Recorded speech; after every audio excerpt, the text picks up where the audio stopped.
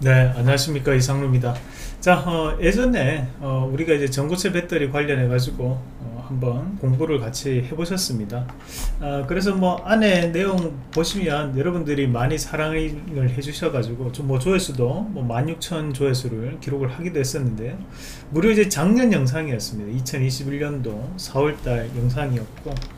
어, 그 이후로 이제 이 전고체 배터리 관련주들이 한 번씩 큰 시세를 2021년도 말에 어, 내는 모습들을 보였었는데 최근 들어서 또다시 한 번 더 큰 폭의 움직임들을 기록을 하고 있습니다. 어, 그래서 그에 따라 가지고 우리가 이 전고체 배터리 관련주 그리고 지금 전고체 배터리 관련주 뿐만이 아니라 우리가 2차전지 소재에 대한 국산화가 이루어지고 있는 그런 양상들이고요. 어, 그래서 지금 현재 시장에서 2차전지에 대해서 왜 이렇게 급격하게 바뀌고 있는지 그리고 그에 따른 관련주는 어떤 종목군들을 또 봐야 될지에 대한 부분 오늘 한번 같이 공부를 해보도록 하겠습니다. 자 우선 우리가 음, 일전에 봤던 것은 2차 전지에 대한 부분인데요 어, 우리가 2020년도 2017년도 어, 그리고 지금 뭐 작년 2021년도 계속 2차 전지에 대한 공부들을 꾸준하게 많이 해 왔었어요. 어, 그런데 지금까지 우리가 2차 전지라고 하면 필수 조건이 있죠. 2차 전지에 대한 필수 조건 구성 요소 네 가지를 얘기하라고 하면 자 일단은 양극 그리고 음극, 전해질, 분리막 이렇게 이제 네 가지를 얘기하는 부분인데 지금은 여기에서 조금 더 세분화돼서 들어가는 과정이라고 보시면 돼요. 그럼 거기에서 어떤 부분이 세분화가 돼 가느냐 하면 자 우리가 이제 이런 양극 안에서도 양극 활물질이라는 것이 존재를 하게 됩니다. 그럼 그 활물질 안에 어, 도전제 그리고 이제 바인더 그리고 알루미늄 기재 같은 세부적인 소재에 대한 부분 자체까지도 지금 시장에서 상당 부분 재평가를 좀 받고 있는 그런 상황이라고 말씀을 드릴 수 있습니다. 그래서 2차전지라는 큰 셀에 대한 부분 자체에서 집중됐던 2차전지 시장에 대한 분위기였다면 이런 분위기 자체가 2차전지에 대한 소재에 대한 부분으로 좀 더 세분화되어서 들어가는 과정이다. 어, 이렇게 말씀을 드릴 수 있겠고요. 자 마찬가지로 우리가 최근 들어서 급등 양상을 보였던 기업이 이 포스코 케미칼 그리고 포스코 그룹주들이었어요. 우리가 공략했던 게 포스코 인터내셔널이었고 어, 최근에 시장에서 큰 움직임 보였던 포스코 케미칼 그리고 어, 지금 오늘 시장 같은 경우에 또 포스코 ICT 같은 기업들도 다시 한번 재평가를 받고 있는데 어, 뭐 그림에서 요 그림 자체는 포스코 케미칼 사이트 안에 있는 그림을 저희가 좀 인용을 했습니다 뭐 그림만 보셔도 아시겠지만 조금 quality가 있다 그죠? 그 정도로 이 포스코 케미칼 그룹이 어, 2차전지 소재에 대해서 상당한 진심인 것 같아요. 그래서 최근 들어 가지고 움직임도 좋게 나오는 것 같고 어, 보시면 큰 그림들에 여기에서 다 설명이 될 것 같은데 자 우선 이제 양극재와 이제 음극재 이 두 가지가 가장 중요하게 되겠죠? 그래서 이제 NCM이라는 것은 우리가 이제 니켈 코발트 망간 을 얘기하는 거고 그에 따른 부분에서 이제 첨부제 첨가제에 대한 부분 자체를 어, 좀더 소재에 대한 국산화를 이룬다고 좀 보시면 되고 자 마찬가지로 이제 양극재가 있다면 또 음극재가 있겠죠? 그래서 이런 양극재와 음극재에 대한 부분 자체에서 소재의 국산화를 지금 진행하고 있는 기업이 어, 바로 이 포스코 케미칼이고 이런 소재에 대한 국산화가 될 때마다 주가에 대해서 급등 양상을 좀 보이면서 주가가 어, 밸류업이 되고 있다. 뭐 그렇게 보시면 되겠습니다. 자 주가 추이를 한번 같이 보시면 최근 들어서 이 포스케미칼에 대한 주가 추이가 급등 양상을 보였던 것도 바로 이런 소재의 국산화라고 보시면 되겠는데요. 이런 소재에 대한 국산화가 지금 당장 갑작스럽게 이루어졌던 것은 아닙니다.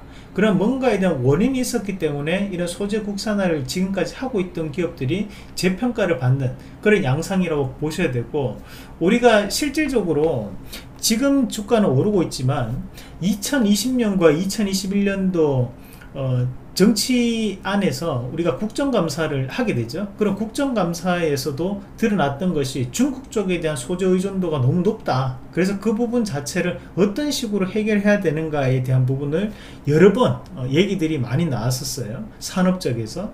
그러면서 지금 현재 포스케미칼이 그때부터 꾸준하게 준비를 했던 것이 지금 현재 어, 급등 양상을 좀 보이고 있는 그런 부분으로 봐야 될 것 같습니다.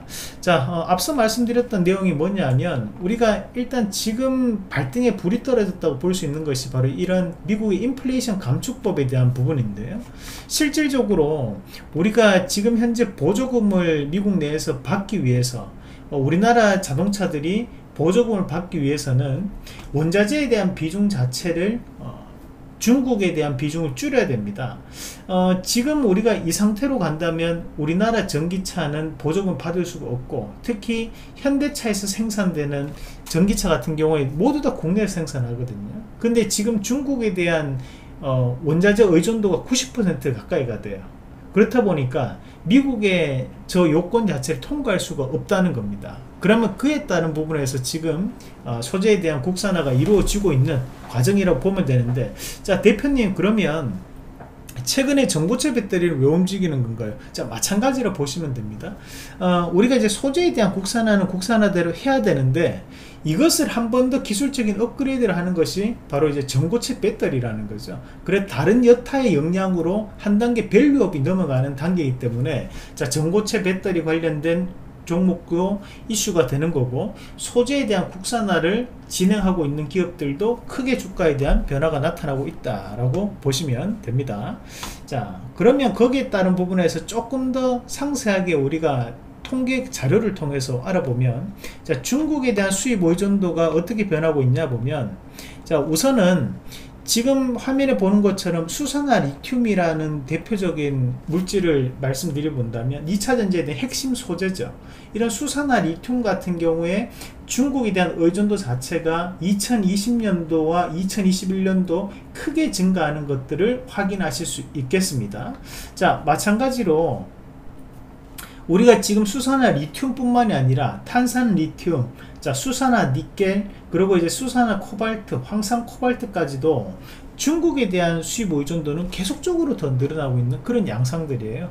2020년보다 2021년도가 중국에 대한 의존도 더욱더 많이 늘어났고 이대로 간다면 우리가 2차 전지에 대한 부분 자체를 미국에서도 어, 결국 전기차 보조금 받을 수 없는 단계로까지 갈 수밖에 없기 때문에 이런 소재에 대한 국산화는 지금 당장에 대한 문제가 아니라 앞으로 우리 어, 2차 전지 시장에 대한 먹거리 자체가 바뀔 수 있는 그 정도로 이제 중요한 사항이라고 보시면 됩니다. 자, 우리가 이 반도체에 대한 국산화를 꾸준하게 해 왔어요. 그래서 이런 반도체에 대한 국산화에 대한 결실을 맺고 있는 양상들이고 그것이 일본발로 시작해서 진행이 된 거라면 이제는 중국발에 대한 부분 자체를 경계하기 위해서라도 소재에 대한 국산화는 반드시 필요하다라고 봐야 되고요. 그런 소재에 대한 국산화 관련된 종목군들이 지금 시장이 어지러워도 앞으로도 이슈화는 되면서 재평가는 받을 수밖에 없다. 그래서 지금 단기간에 뭔가에 대한 승부를 내려고 보지 마시고 큰 그림을 보시고 앞으로 시장은 이 방향으로 바뀌어 나갈 수밖에 없다라는 부분으로 뭐 해석을 하시면 좋을 것 같습니다.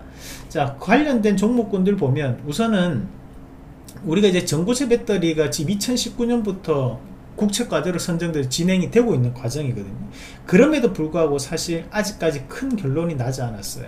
자, 일본 업체들 같은 경우에는 2023년도, 2022년도 후반에 결과가 나올 거라고 얘기는 하고 있지만, 어, 일본 같은 경우에도 전고체 배터리에 대해서 뭐 혁신적인 그런 부분 자체가 아직까지 발표가 된 것은 아닙니다. 우리나라는 목표를 2026년도를 잡고 있는데요. 자, 최근에 이슈가 됐던 기업이 바로 이수화학이라는 기업이었고, 자, 이수화학이 크게 급등할 수 있었던 것은 황화물계 배터리에 대한 주 원료를 생산하기 위해서 작년부터 210억 원을 투자를 했고, 그것이 바로 어, 올해 시생산에 들어간다는 거예요. 어, 이 황화물계 배터리에 대한 부분은 지금 현재 LG 에너지 솔루션에서 2030년도까지 전고체를 만들게 된다면 결국에는 황화물계 배터리 쪽으로 갈 것이다 라는 얘기를 했던 부분이었거든요. 그렇다 보니까 주가에 대한 반등이 나오고 있다라고 봐야 될 것 같고요 자 우리가 여기에 넣은 이제 LTC 같은 경우에도 이런 전고체 배터리에 대한 부분 자체에서 연구 개발이 이루어지는 기업입니다. 자 그리고 이제 테이펙스는 2019년도 국책과제로 선정돼서 함께 진행을 해 왔는 기업인데 자 이후로 주가 많이 올랐죠? 자 마찬가지로 뭐 SKI 테크놀로지라든지 또는 이제 한농화성 뭐 CIS 같은 기업들도 우리가 전고체 배터리라는 명목하에 함께 포함되어 있는 기업들이다 라고 보면 되고요 여기서 우리가 한 가지 알고 가셔야 되는 것은 LG 에너지 솔루션에 대한 로드맵과 그리고 삼성 SDI에 대한 로드맵과 그리고 SK온에 대한 로드맵이 각각 다 다르다는 겁니다. 그 말은 아직까지는 표준적인 모델이 없다는 거죠. 그래서 앞으로도 이런 전고체 배터리에 대한 부분 자체는 꾸준히 연구 개발이 될 수밖에 없고 재료가 노출될 때마다 종목군들이 급등 양상 또는 추세 상승에 대한 부분을 보일 가능성이 대단히 높다라는 것을 어, 좀 알고 진행면 좋을 것 같습니다. 자 다음을 그림을 또 한번 같이 보시면 자 그 다음 그림에 나오는 것은 이제 2차전지 소재에 대한 국산화 관련된 그룹들인데요. 우선 이제 포스코 케미칼은 지금 현재 그림도 보셨지만 어, 이 2차전지 소재 국면에 대해서 국산화에 대한 부분을 상당히 진심인 부분을 많이 보이고 있습니다. 양극재, 음극재를 떠나가지고 그러면서 이제 그룹 내에서도 어, 지금 현재 상당한 재평가가 나타나고 있는데 자 포스코 케미칼 뿐만이 아니라 포스코 인터내셔널 포스코 ICT까지 지금 현재 전체적으로 이 포스코 그룹이 재평가를 좀 받고 있는 그런 양상들을 보이고 있고 자 금양 같은 기업들도 수산화 리튬에 들어가는 첨가제를 만드는 회사인데 그런 첨가제를 만드는 회사가 현재는 재평가를 받으면서 주가가 어, 올라오는 그런 모습들이 보였었죠.